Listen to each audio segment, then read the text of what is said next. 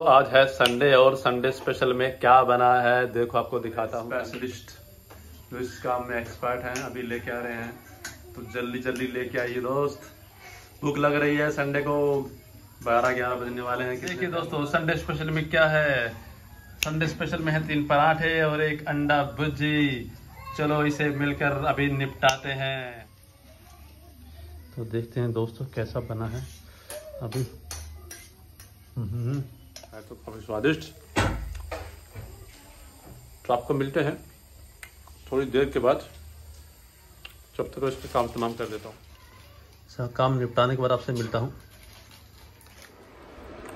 एक संडे ही होता है दोस्तों जिसके अंदर सबसे अच्छा खाना मिलता है।